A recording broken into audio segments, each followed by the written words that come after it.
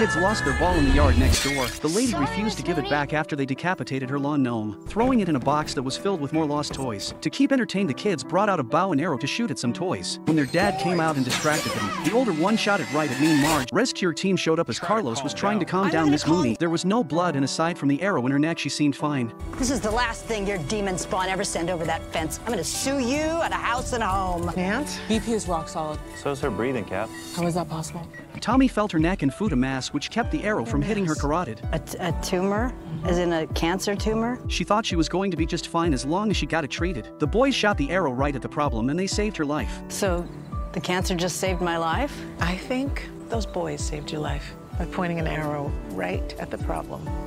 Just before she was taken away in the ambulance, she told Carlos about the We're box in her backyard. And to make sure the boys and the other kids in the neighborhood get back what belonged to them, she then offered them to come over the next time one of their balls was thrown into the yard for some drinks.